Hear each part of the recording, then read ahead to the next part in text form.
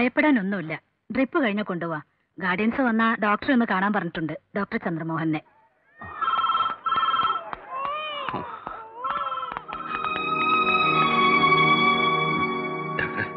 കുഴപ്പമൊന്നുമില്ല അവൾ നോർമലാ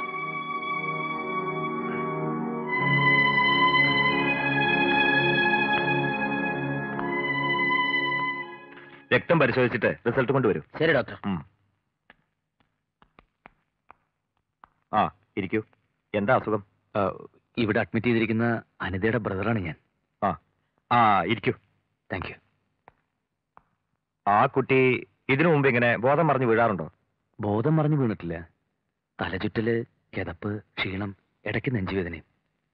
കുട്ടിയുടെ ഹാർട്ടിന്റെ ഒരു വാൽവിന് ചെറിയ തകരാറുണ്ട്. അറിയാം ഡോക്ടർ മൂന്നാൽ കൊല്ലമായിട്ട് പാലക്കാട് ഡോക്ടർ ചെറിയന്റെ ട്രീറ്റ്മെന്റില്ല ഓ അത് ശരി. മരുന്ന് മുടക്കാതെ കൊടുക്കുന്നുണ്ട്. അതുകൊണ്ട് പല്ലില്ല. ഓപ്പറേഷൻ വേണ്ടി വരും. ചെറിയാൻ ഡോക്ടർ പറഞ്ഞായിരുന്നു. പിന്നെന്താ ചെയ്യാത്തത്? ചെറിയാൻ സാറിനെ കൺസൾട്ട് ചെയ്തിട്ട് അത് ഉടനെ ചെയ്യണം. എന്താ ആലോചിക്കണ? ഒന്നുമില്ല ഡോക്ടർ. താങ്ക് യു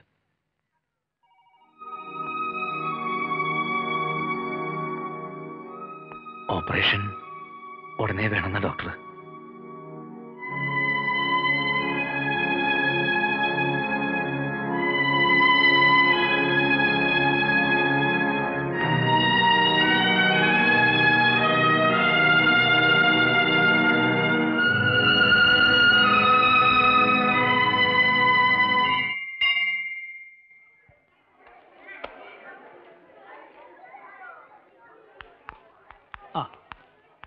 എന്താടോ?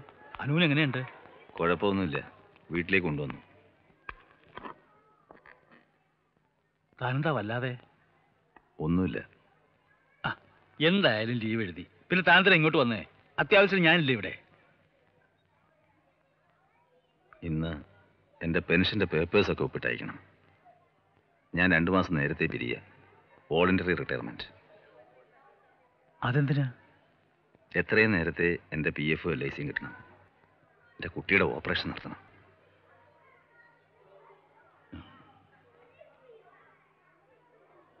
ബാക്കിയൊക്കെ വിധി പോലെ. ഏട്ടാ നല്ലതാണോ? ഇന്നാൾ പാലക്കാട് പോയി നിന്റെ വാങ്ങിക്കൊണ്ടുവന്നതാ നന്നായിട്ടുണ്ട്. നല്ല ഭംഗിയുണ്ട്. എവിടെങ്കിലും പോകുമ്പോ ഇടണമെന്ന് വെച്ച് വെച്ചിരുന്നതാ. ഇനി ചിലപ്പോ പറ്റിയില്ലെങ്കിലോ?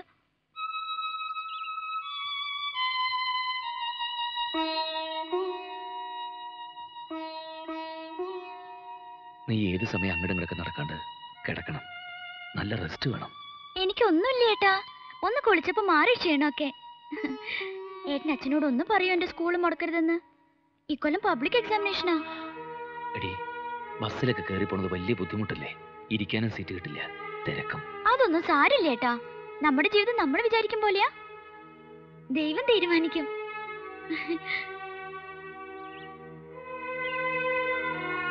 ഏട്ടൻ പറഞ്ഞു എനിക്ക് ചുരിദാർ നല്ല ഭംഗിയുണ്ടെന്ന്. അമ്മയ്ക്ക് നല്ല തലവേന. ഞാൻ കുറച്ച് ഫിക്സ് വരട്ടി കൊടുത്തു. കുറച്ചു നേരം കിടക്കാൻ പറഞ്ഞിട്ട് കേൾക്കണ്ടേ? ദാ ഈ കയറ് മതിയോ നോക്കി. എന്തിനാ? ആ പൊട്ടിപ്പോയത് കെട്ടണ്ടേ?